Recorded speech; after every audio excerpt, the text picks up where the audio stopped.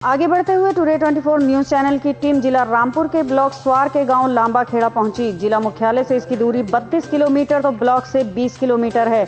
4000 वोटों वाले इस गाँव की कमान श्रीमती विमला जोशी के हाथों में है। गाँव वालों ने इन्हें प्रधान चुनकर ज़िम्मेदारी का सेहरा इनके सर बाँध दिया है। इन्होंने भी ज़िम्मेदारी को निभाते हुए गाँव में काफ़ी अच्छा विकास करवाया है।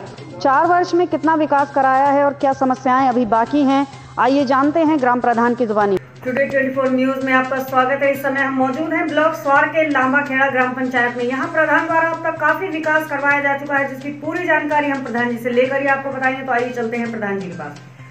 प्रधान जी टुडे 24 न्यूज़ में आपका स्वागत है। चार साल यहाँ आपके कार्यकाल को पूरे बीत चुके हैं। क्या क्या विकास कार्य अपने गाँव में करवा दिए अब तक? विकास कार्य जी आंगनबाड़ी केंद्र बनाया। जी। स्कूल में प्राइमरी जूनियर हाई स्कूल में टाइल्स वगैरह लगाई। सड़क बनवाई। और सीसी टाइल्स वगैरह कार्य आपने जो है जी जी इंटरलॉकिंग कराई है। जी। रोड बनवाया स्कूल के अंदर। गेट हो गेट लगवाया उसकी बाउंड्री कराई है। बहुत अच्छा वहाँ हमने जो है स्कूल पर काफ़ी आपने जो है यहाँ काम करवाया है। काफ़ी अच्छा काम किया है। और हमारा शौचालय मुक्त गाँव है। इसमें सारे घरों में शौचालय बनवाए हैं। और आवास मिले आवास एक मिला है हमारे यहाँ। एक आवास भी बना जी जी एक आवास मिला है। और जो रोड सड़कें हैं जो हमारे यहाँ की काफ़ी बुरी तरीके से थी जो निकल नहीं पाते थे लोग आज। गाँव में लोग बहुत अच्छी तरीके से जाते हैं सारी सड़कें। जी जी। अब से पहले मतलब जो है काफ़ी गंदी हालत यहाँ के रास्तों जी, की थी आपके कार्यकाल हाँ। में काफ़ी सुधार यहाँ सड़कों पे आया यहाँ की काफ़ी गंदी हालत थी। रास्तों में कीचड़ लोग निकल नहीं पाते थे। बच्चों को स्कूल जाने में परेशानी होती थी। लेकिन अब आज यहाँ जो सरकार की जैसे योजनाएँ चलती हैं केंद्र सरकार की मुफ़्त में बिजली कनेक्शन उज्ज्वला कनेक्शन जो ये। गरीबों के लिए सरकार ने योजनाएँ चलाई है। सिलेंडर तो आपके गाँव में सभी को मिले हैं? जी जी काफ़ी सिलेंडर मिले हैं लोगों को। उज्ज्वला योजना से काफ़ी लाभ उठाया है। जी।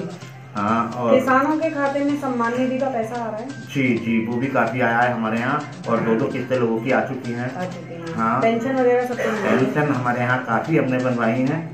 और कोई भी हमारे यहाँ शायद एक दो को तो नहीं कह सकता। जी जी। तरफ़ से पूरी जी, जी। हंड्रेड परसेंट कोशिश की है जी विधवा पेंशन और विवाह योजना के जो कार्य होते हैं उनके लिए गरीबों को पैसा दिलवाया और साठ साल पेंशन। ये यहाँ सोलर लाइट स्ट्रीट लाइट वगैरह लगवाई। जी सोलर लाइट नहीं लगी हमारे यहाँ कोई सोलर लाइट नहीं आई। जी। जिसके लिए हम फिर भी आज इच्छुक हैं लगवाना चाहते हैं। स्कूल के अलावा यहाँ बारात घर है। बारात घर हमारे यहाँ कोई नहीं है। और इतनी इसकी बड़ी पंचायत है? इसमें बारात घर नहीं है पंचायत भवन। में पंचायत भवन जो था हमारे यहाँ वो जो अब से पूर्व प्रधान है उसने ध्वस्त करके मदरसा खुलवा दिया। पंचायत भवन की जगह पर? जी जी। तो वो जगह तो ग्राम समाज की जी ग्राम समाज की जगह है और उसमें मदरसा खुलवा दिया है उन्होंने। अच्छा। हाँ पंचायत घर ध्वस्त करा दिया जी तो अब इस समय कोई पंचायत भवन इस समय कोई पंचायत भवन नहीं है हमारे यहाँ और कोई बारात घर नहीं है। जिसकी हमें इच्छा है। जी खेल का मैदान। जी खेल का मैदान भी हमारे यहाँ नहीं है कोई। शमशान घाट कब्रिस्तान वगैरह। शमशान घाट है लेकिन वो भी उसकी हालत अच्छी नहीं है। जी। अ, अब हमने अपनी प्रधानी में एक सरकारी नल लगवा दिया उसमें इससे पहले नल भी नहीं था। जी। और बहुत स्थिति शमशान घाट की हमारे यहाँ खराब है। जी।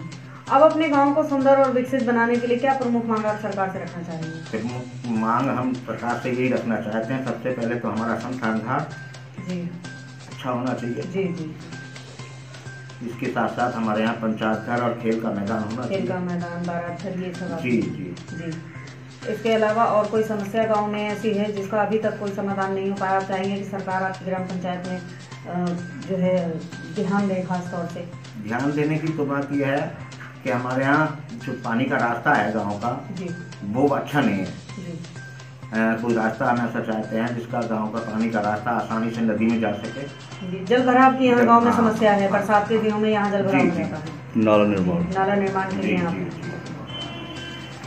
जैसा कि आपने देखा ग्राम प्रधान पर प्रधानपति से हमने यहाँ बातचीत की है। काफ़ी विकास अब तक इनके द्वारा यहाँ करवाया जा चुका है। जैसे सीसी टाइल्स कार्य सड़क निर्माण आवास केवल एक यहाँ पर मिला है। शौचालय से ये गाँव पूरी तरह से ओडीएफ हो गया है। स्कूल में भी काफ़ी सौंदर्यकरण शिक्षा की तरफ़ ध्यान में रखते हुए शिक्षा को काफ़ी सौंदर्यकरण यहाँ स्कूल में करवाया गया है।